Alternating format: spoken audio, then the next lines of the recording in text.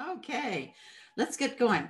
Um, as Jeff mentioned, I'm editor of Flute Talk magazine, and it surprised me once I became editor what the most requested item was from all of the previous issues of Flute Talk, and it was the 1988 article by Frances Lapp Averitt, where she reports on uh, Michel Debost's scale game, and she publishes um, his 60 ways of playing scales.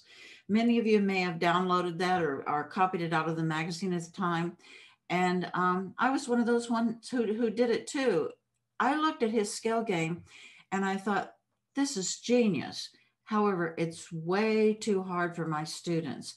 And by way too hard, I meant it had the kind of things in it maybe students wouldn't have the patience to do, like playing scales at 40 to the eighth note on the metronome. You know, I can tell you my my students like probably like yours are very action oriented. They like to play rhythms. They like to play fast. They like to tongue. They like to do things. So, so I just kind of took his idea and wrote my own scale game. Um, within the next few years, he began coming out to Idaho with me and teaching my Pocatello Flute Week.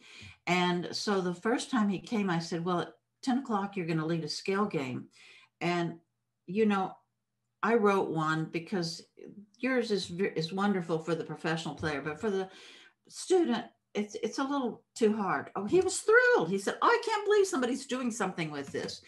And so then I said, "Oh, and also too, you know." Here in Idaho, we all play together. We don't just have one person play and then the next person play on a different key and go around the room that way. We all play together. And he said, You can do that? I said, Oh, yeah, it works great. After he came out from teaching the class, he said, I'll never do it the old way uh, again. I'll, everybody will always play. Well, time went on. Michel kept coming back in the summers to teach. And um, I, I noticed that some of my students moved a certain way when they played certain rhythms or certain patterns, and some of the other ones didn't. And the ones who seemed to move in the same way that I did or the Michel did, um, were general were the more musical ones and so i set about trying to figure out what what was on the page that made them move a certain way and um, uh, it took me a while to figure this out but um, I, I, I think i have and i want to share that with you first before we start and then the scale game will make a lot more sense in music we have two gestures either we come away from the beat or we lead to the beat. And I know on the, on the East Coast there, there's probably more students that are descendants of William Kincaid than there are in the rest of the country or where I live. Um, but I was fortunate enough to study with him. And, and you may recall, he taught a note grouping pattern where you played your scales one, two, three, four, one, two, three, four, one, two, three, four, one.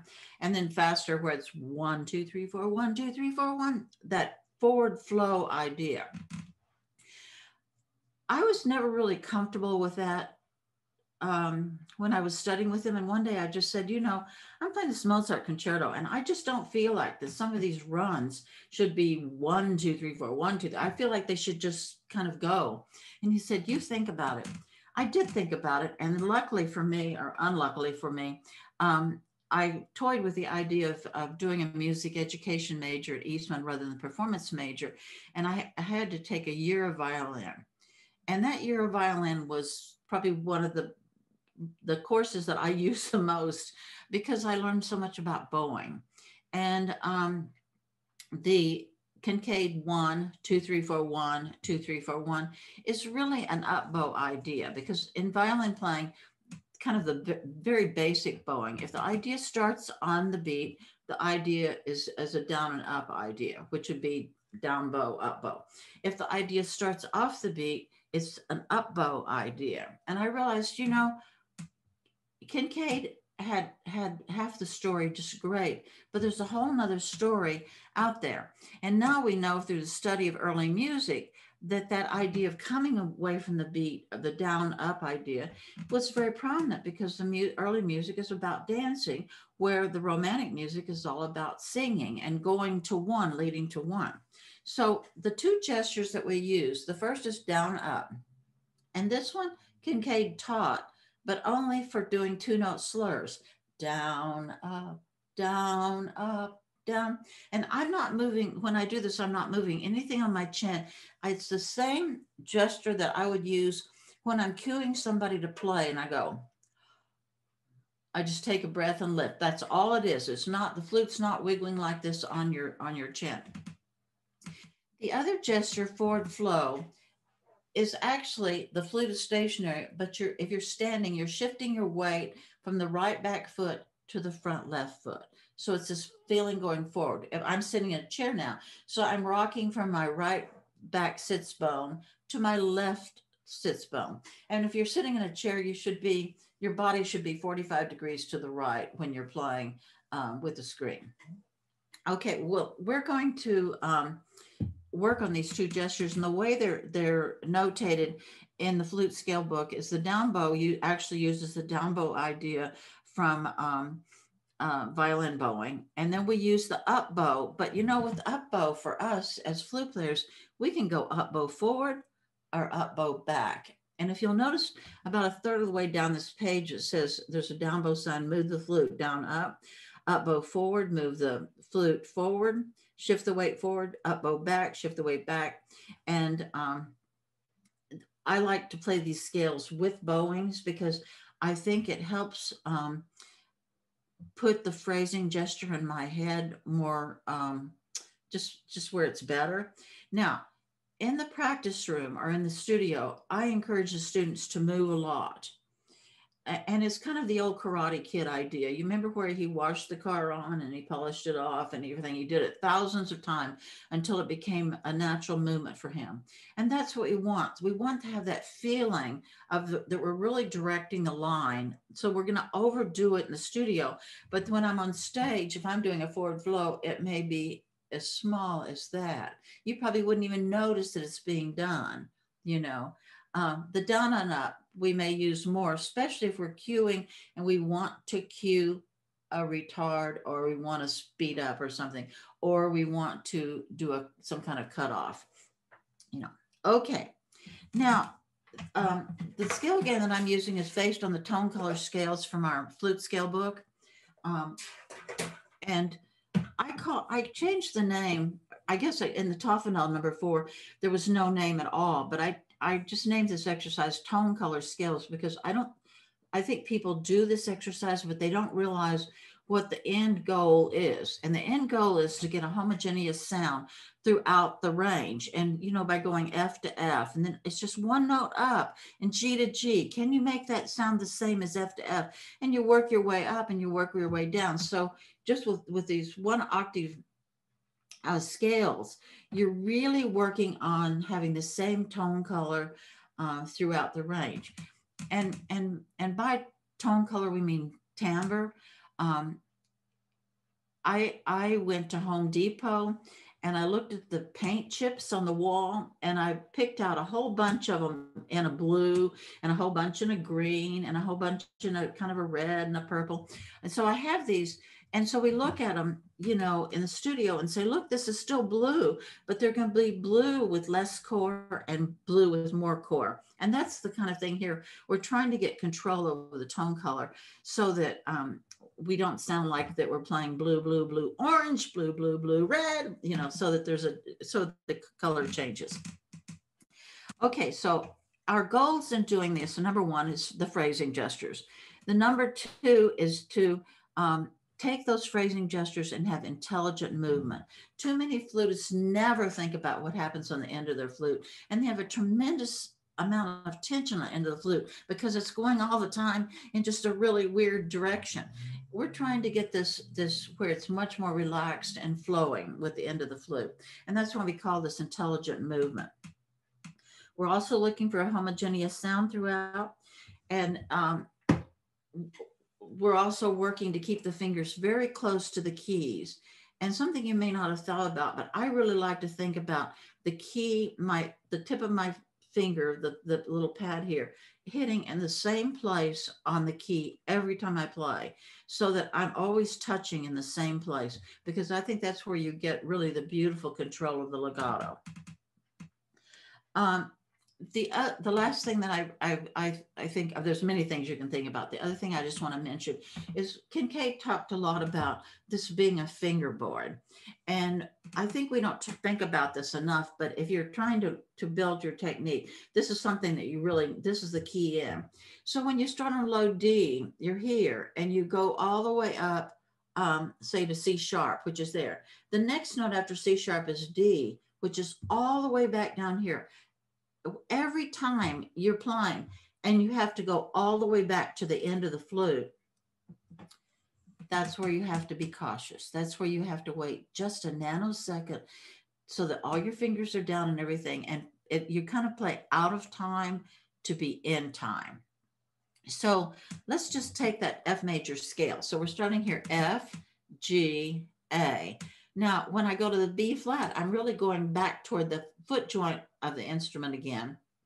C, I'm good. now, from C to D, do you see I have to go all the way back to the foot joint? So that C to D takes a little bit more time than going from D to E or E to F. And so I don't know if you've ever played a show, a Broadway show, but when you get the books, you'll see that before certain passages, there'll just be a slash before a note. And that's what somebody has written in there to show you that just this and it's interesting just when you your eye sees that slash that just it's enough moment mo, just a, enough time to slow you down so you finger correctly. And um, you may not have ever thought well how did they decide where to put that slash? You know but it has to do with where you are on the flute. So thinking this is a fingerboard, just like a violinist would, where all the notes are is very, very good. Okay. Um, so we're going to start with um, F major. And um, I, I just like to mention one thing. Um, I was talking with Trevor Wye about T&G number four, and it always bothered me that in the minor sec, the minor scales, they weren't consistent throughout the whole exercise. I think there's four or five places that you have to go in and fix the accidentals for students. Um, and I was talking about him. And he said, "Well, you realize that that exercise came from somebody else from an earlier time. That was not original with Taffanel or Gaubert." And I said, "No, I didn't realize that." And and he he said, "Yeah, it's an early treatise." And I said, "Well, which one?" And he said, "I don't know. I can't remember." He said, "If it shows up here, I'll let you know." Well, in writing one of our books, I was going through IMSLP with a fine tooth comb and I found it. And it's in the Popp, P O P P, uh, Flute School, School, Volume 2. And in that, the melodic minor, the minor scales are always written in the melodic minor form. And so in talking with that, with, with Trevor, uh, he said that he had decided that he was going to have his students play the minor section all in pure form, then in harmonic form and melodic form. I don't have the luxury of having that much time with my students. And so I made the decision of kind of what many of the violin professors have done at universities. Melodic minor scales is the, we're going, the way we're going. And so in our scale book, they're written out in the melodic minor form. And so that's something you might want to consider when you're doing your scale game about maybe not playing the minor scales in such a mixture. Um, so anyway, okay, we're going to start first. So get your flute and be sure it's line, aligned well. However you align it, it's a personal decision. It's just the main thing you should align the same way every day. Okay, so we're going to start with the phrasing gestures and we're going to work in chunks. And a chunk is a group of notes, usually an inch long, and then you take a rest. And during the rest, you take a sit breath. A sit breath is just a, some people call them guppy breaths, you know, but whatever it is, it's just a topping it off kind of breath. And we're going to slur by fours and we're going to go from down to up. Okay?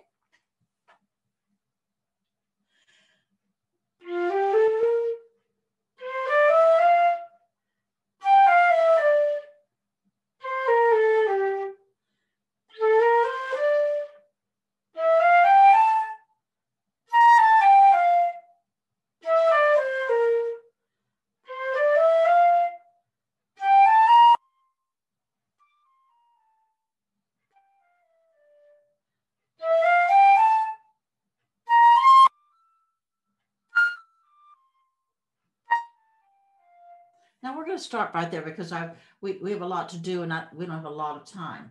Now we're going to go to number two, which is down and up by eights. Now, one, two, three, four, five, six, seven, eight. And then you bring it back down. One, two, three, four, five, six, seven, eight. So we call that retaking your bow. That's what you're So you're going back to the, the spot.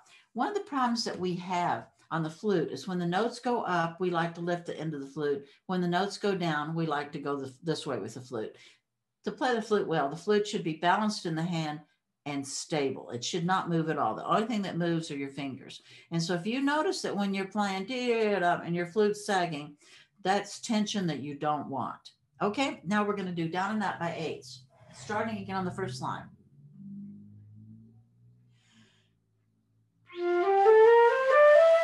Retake your bow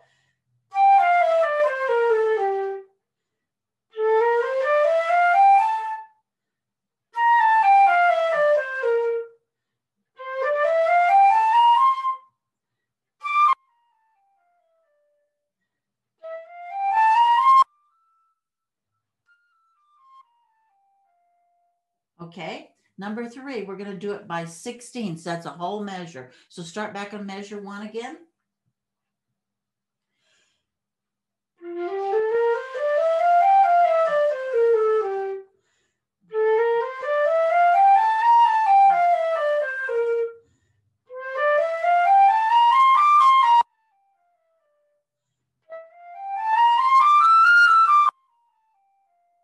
Now you can keep building on that idea um, of doing two measures, four measures, and ultimately what you want to be able to do is all eight measures as the flute is coming up, which leads to me one, to one of my favorite sayings of all times. If you really want to improve your technique, and we're talking about fast technique in this situation, if you can play more notes on one gesture, you'll be able to go faster. Mm-hmm. But if the flute is moving for every note or every two notes or every four notes or whatever, this is slowing you down. But if you're doing eight measures and the flute's just moving like this, it's amazing how fast you can play and how good it sounds. Okay now we're going to work forward flow.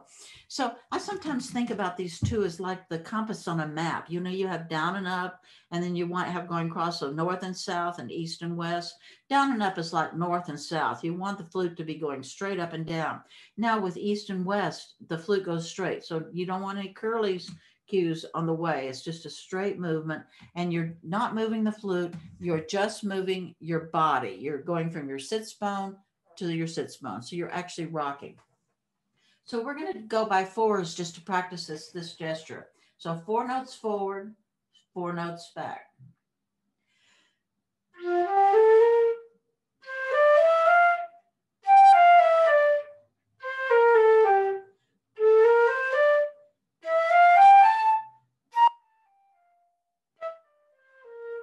Good.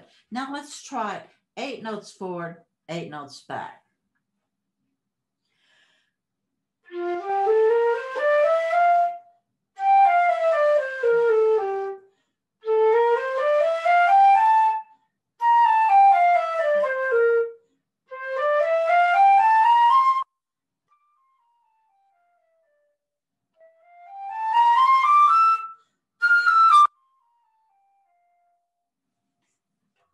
If we could go to the next page.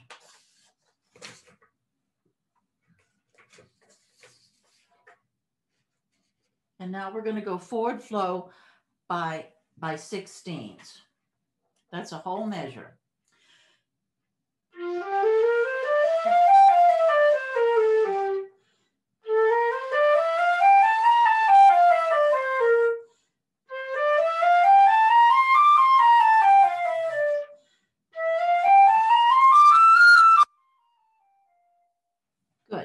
And could go on and do two measures, four measures, eight measures, whatever length it, it has.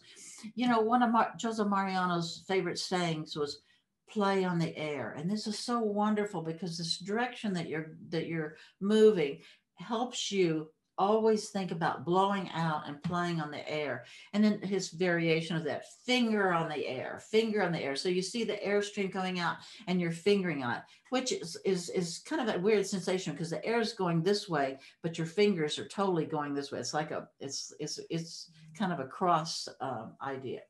Okay. Now the next ideas are got kind of about what to do to to to work on fast technique, and our first one is um, probably one of the most famous um, rhythms that high school bands do. Bum ba da da da da da dum, beam ba da da da da da dum. But we're going to slur it. Now the first note is a solitaire. We're going to do down, and then we're going to go forward, and then we're going to just come back. And you won't need to do the down so much on um, on on the it'll it'll work out. Just trust me. Okay, here we go.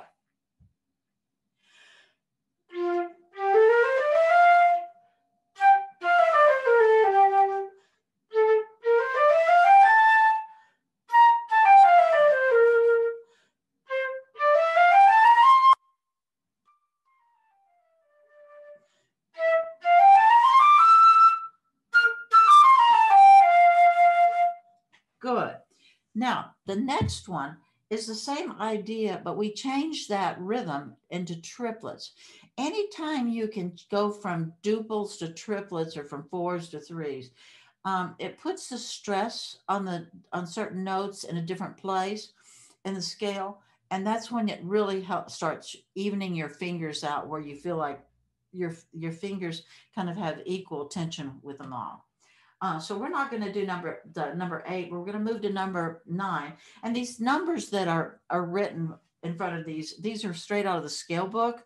And so there's I don't know 450 ways to play rhythms and and articulations and everything. And these are just numbered from the from that the back of the scale book. So let's look at number 63. This is one of my favorite ones. And if there's a day, uh, it's number nine, number 63. If I don't have a lot of time, um, I will do this one because it really loosens up my fingers and I feel very relaxed when I finish playing. So it's down and then forward flow for the next um, eight notes and then back and then forward. So.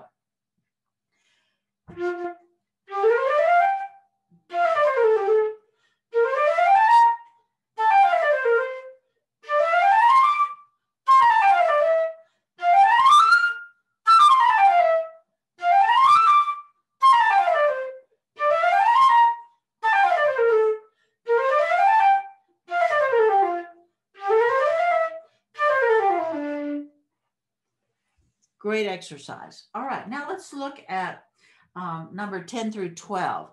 These three are based on um, idea, and he has a longer version of this, but I just kind of cut to the chase on this. Um, that often when you're playing a concerto, you're going along at a certain tempo and you're, you're playing notes by twos or by fours or something. And then all of a sudden you've got a whoom, big run that you have to play. And he said, it always takes you by shock. And so he said, let's just practice that. So we're going to do one, two, three, four, one, two, three, four, one, two, three, seven, eight. One, two, three, four, one, two, three, four, one, two, seven, eight. Okay, here we go.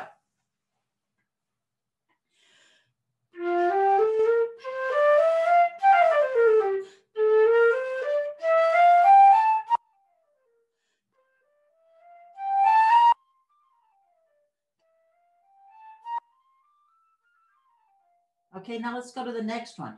484. Back at the top.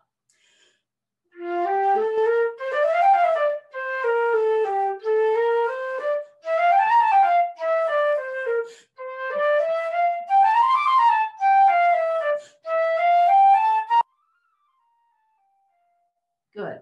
Now let's do where to start with the eight right at the beginning.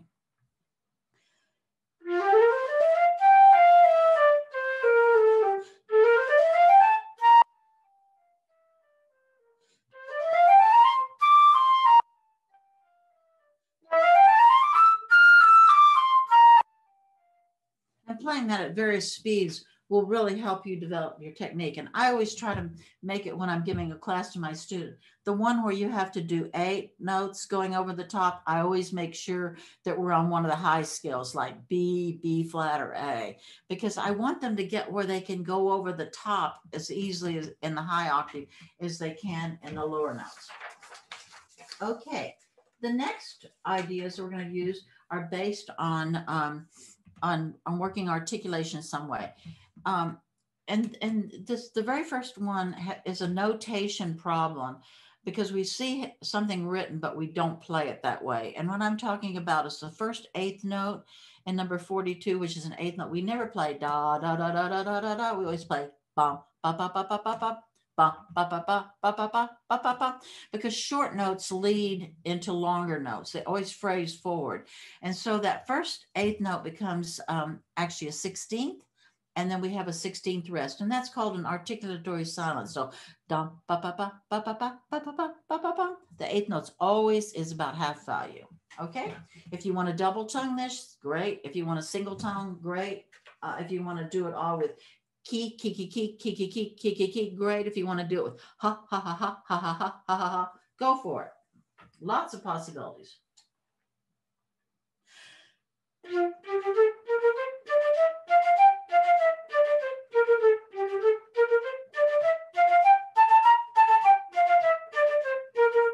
Now on this line, let's go to number 43, the opposite of what we did. We'll go the long, short, short. Now it's going to be short, short, long, short, short, long. Mm. Line two.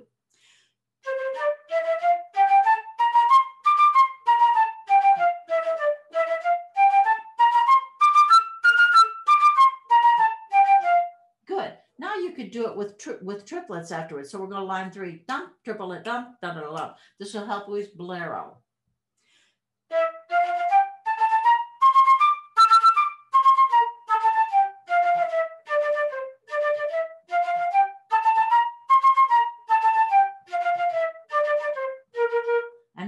Opposite of that, where you put the triplet first. And then if you look at the last one, it's one, four, one, four, one. This is the last line starting on the A.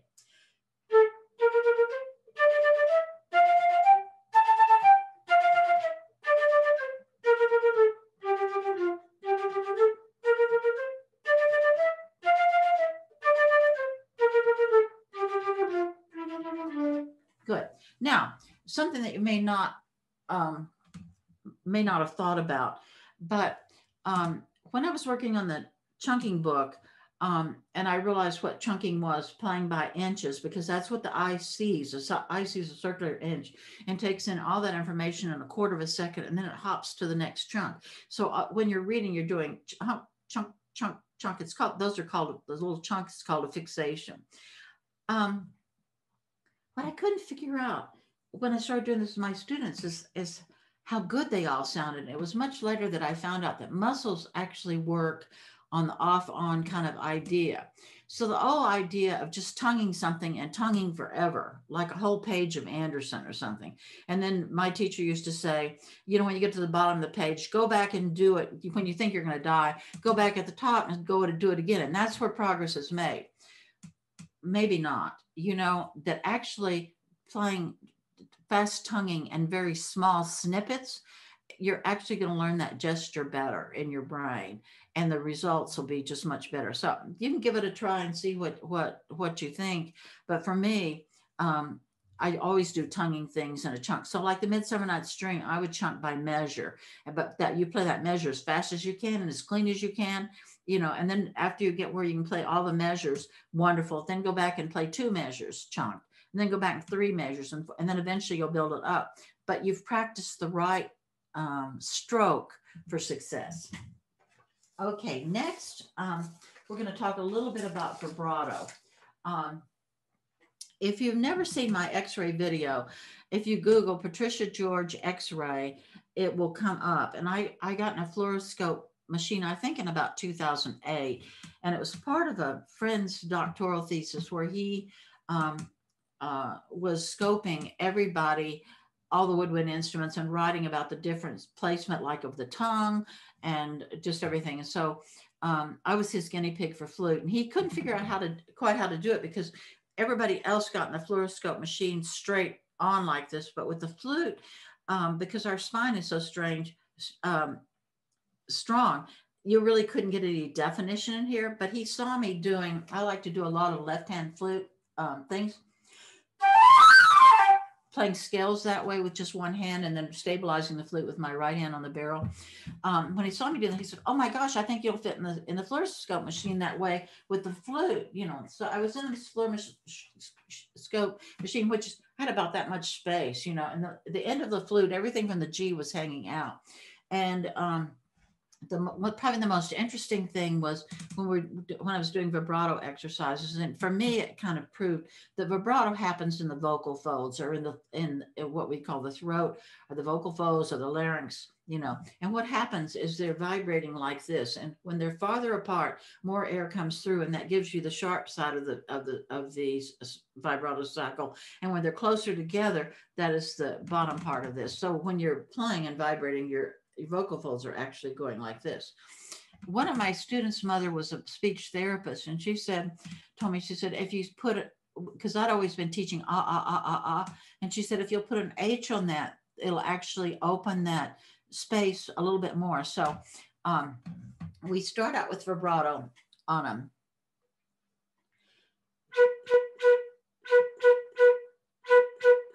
Ha, ha, ha, ha, ha, ha ha, ha, ha. And all vibrato is is slurring the ha. So you do.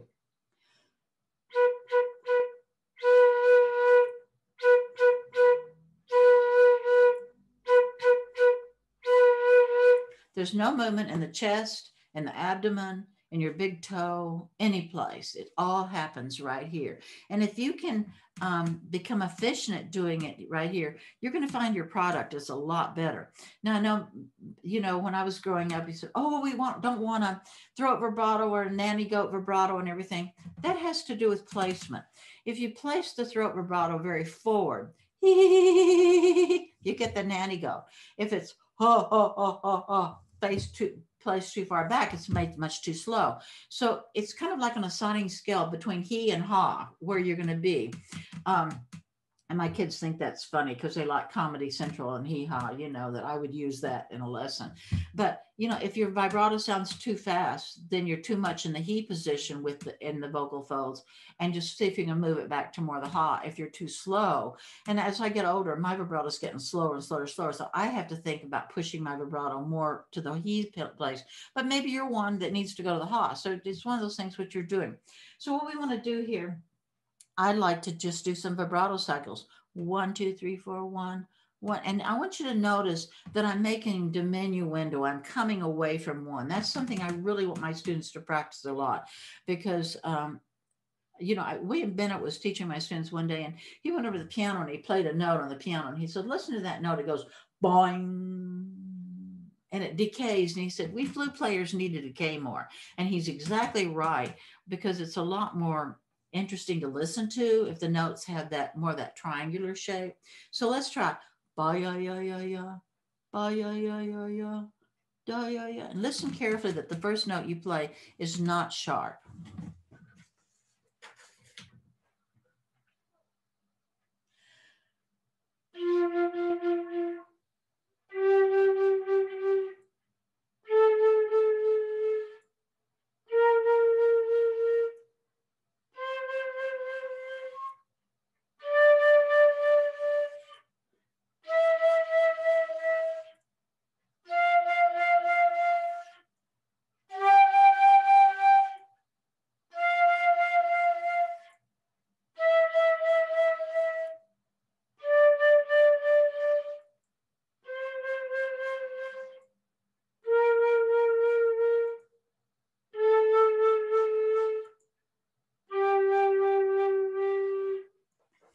I don't know, with Zoom sound, I, don't not sure you can hear it, but I was able to on most of those when I was I was tapering down. By the time I got to the end of the last one, I was able to get a whistle, and which I really like.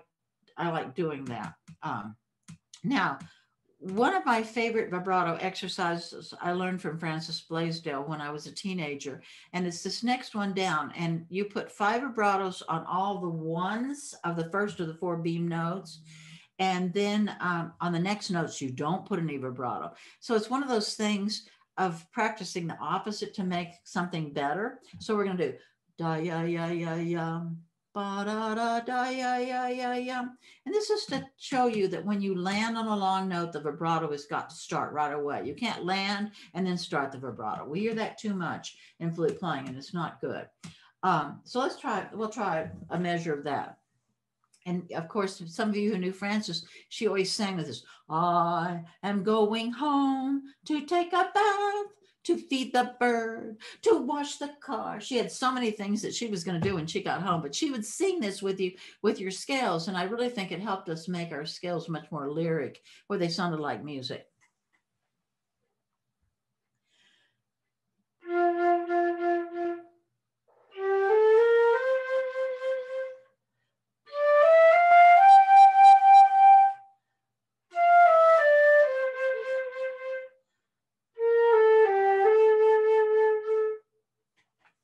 One's really fun to do. And if I'm in a class, I may divide the room up in half, and one person plays the psalter at the beginning, one half, then the other half of the room plays two, three, four, one, then the other one, and they sing song back and forth like you're playing ping pong. Um, another favorite thing to do is to take the vibrato off and on. Just practice doing that. So like da ya ya ya ya ya ya ya ya like that, and then opposite da ya ya da ya ya and you could do that alternating anything. And once you're good at going from nothing to something, like zero to two, zero to three, zero to four, zero to five, zero to six, then you can start experimenting. One of my favorite things to do is one, two, one, two, three, one, two, one, two, three, one, two, actually controlling how many vibrato I put on each note of a scale. It's wonderful for vibrato control. Let's just try that right now. Let's try first. We'll do the first measure zero, two, zero, two. So the first note's none, the next one's two, and back and forth. And this is all a forward flow idea of the flute going forward.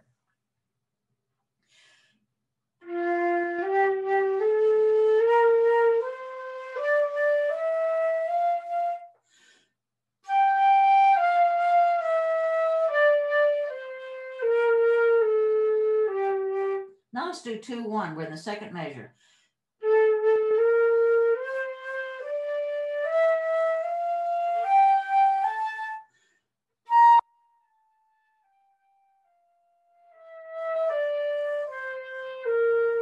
And then you could do it with the threes, fours, whatever. Now let's try two on the first note, three on the second note. Alternate twos and threes.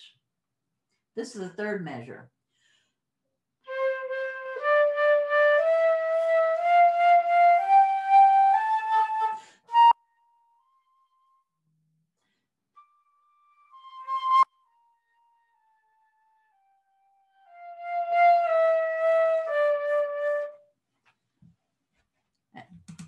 Do a lot of practicing like that where I really have control of what I'm doing the vibrato. I keep reminding, is your vibrato controlling you? Are you controlling your vibrato? And the answer for too many of us is the vibrato is controlling us.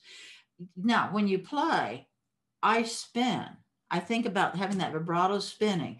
You know, uh, there's the old story about the spinning orange. Um, that you have an, an, orange in your mouth. And the idea of the orange is that means your your teeth are really separated and everything's nice and open your lips are there and in there you have an orange and your air has got the your vibrato has got to spin that orange. The orange may be a little big for you maybe the, a little round red jack ball might be more the appropriate size uh, but that idea that it's always alive and the move the air is moving along.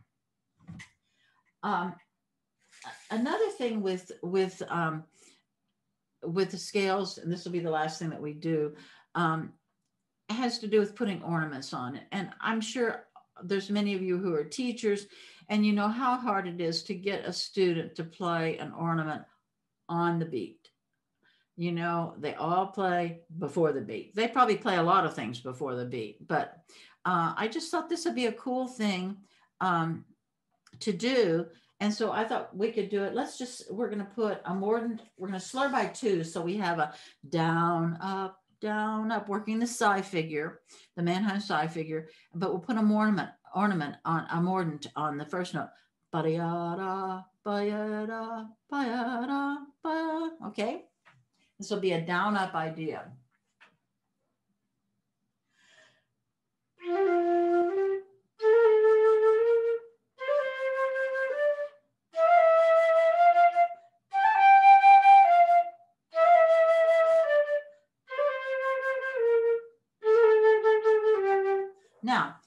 I just want to stop here. And, and, when the flute is at the down position, that's the ictus. Like when a conductor conducts and you see that little jerk, that's that's where you should be playing is on the ictus. And I think this movement from down to helps you not play while you're still going down. You can't play the mordent until you're at the ictus. Let's do the second measure.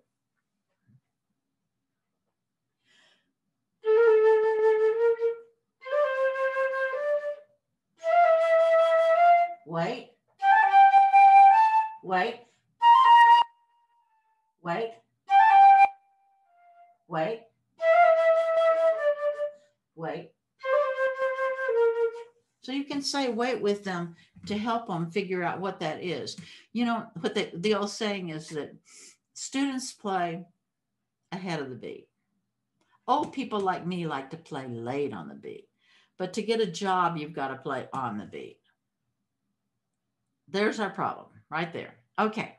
Um, now, the other thing I like to do is, as um, this last one that was written on the page, is adding the mordent in there. And I like to do I like to do a slow mordent because if you once you start thinking about it or watching for it, you'd be surprised how many um, etudes begin with a mordent or, or with a gruppetto, or like the Schubert variation number five is a gruppetto. Um, and we don't read it that way because we read by fours rather than by eights. Reading by eights is a is a is if you can get where you read sixteenths by eights, a real boon for you. So we're going to do da dee da da strong weak strong weak strong weak strong weak okay and we'll do this in the key of f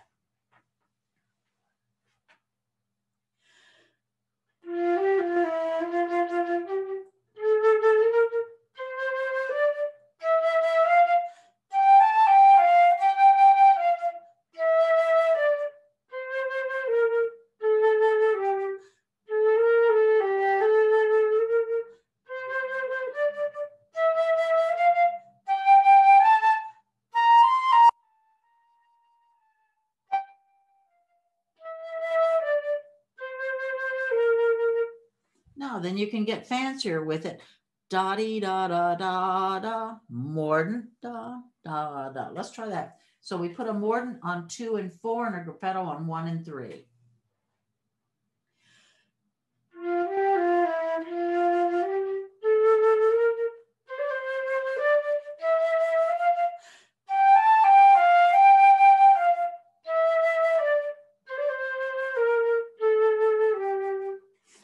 My favorite pages in the flute scale book is putting a gruppetto on each note of a scale.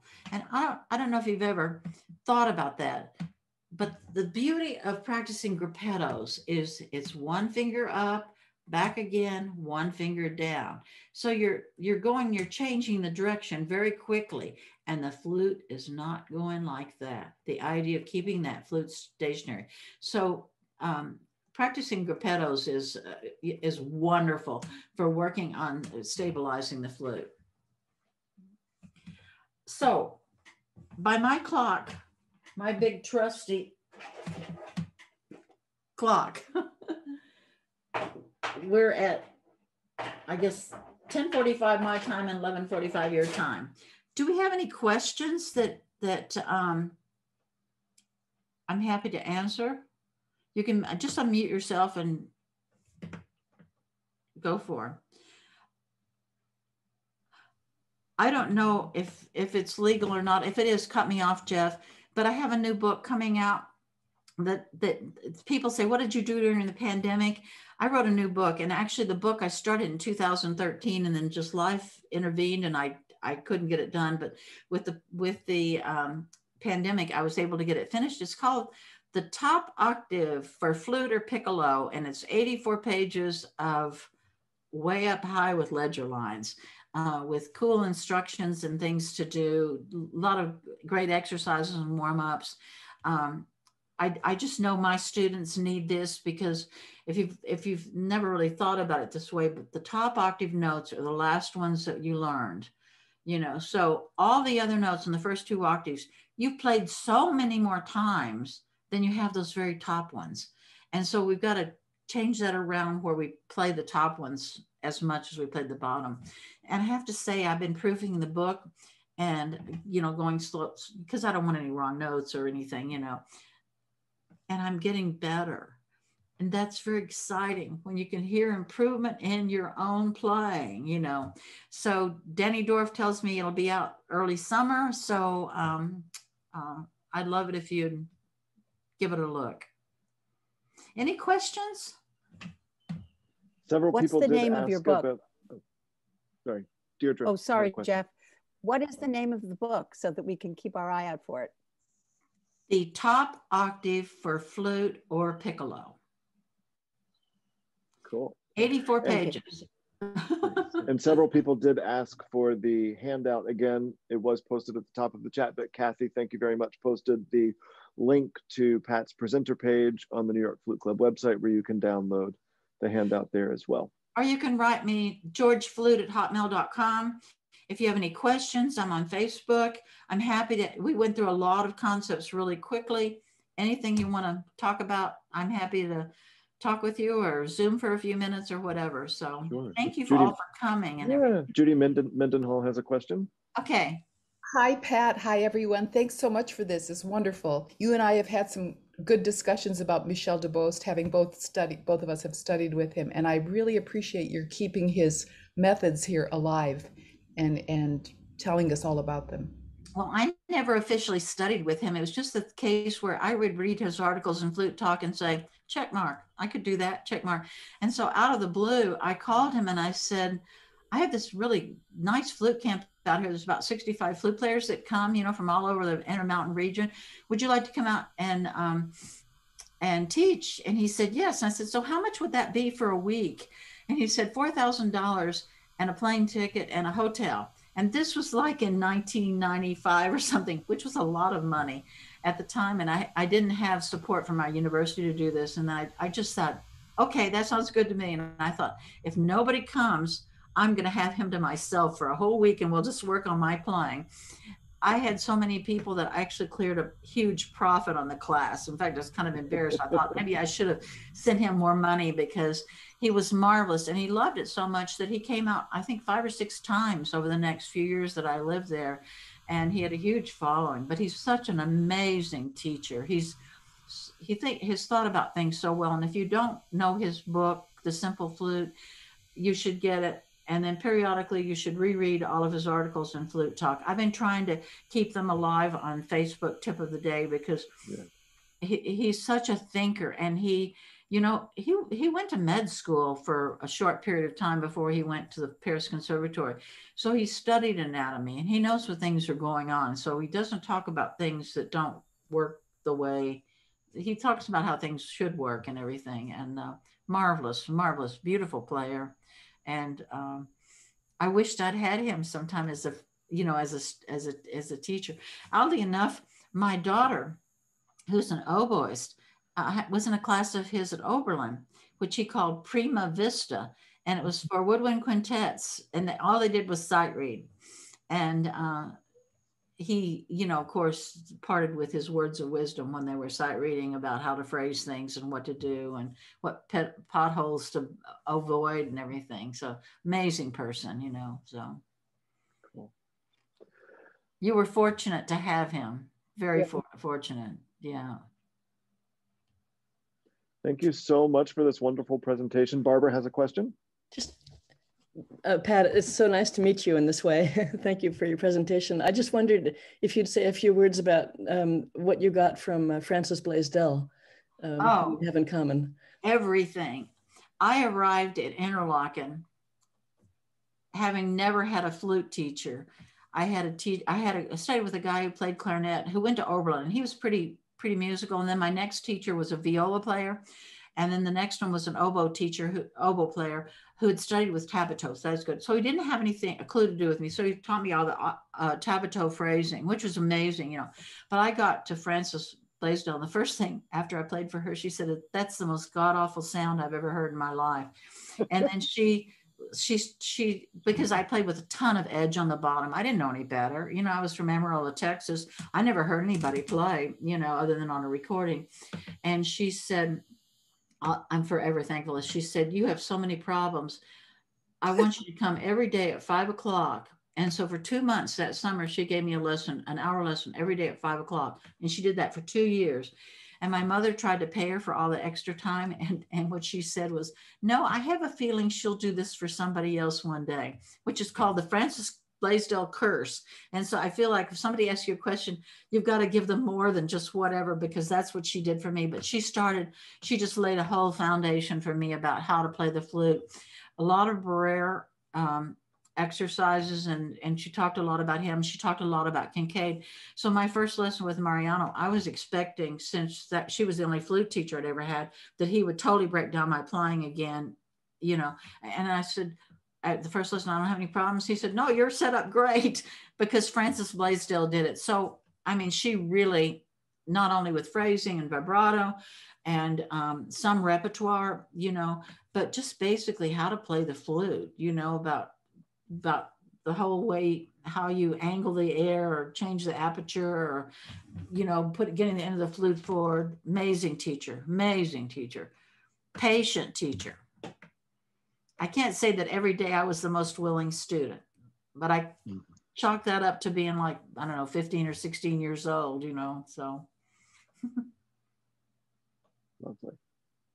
Any final questions from anyone or comments or well, thank you again for this wonderful session. It's always a privilege to uh, to learn from you. So thank you very much. And I and I look forward to every day reading your tip of the day on Facebook too. So oh, good. yes, join me on good. for the tip of the day. Right. Yep. yeah. Good. Thanks, everybody. Have a great afternoon. See you. Thank you. Bye. Thank you. Thanks, Patricia. Bye bye all. Thank you.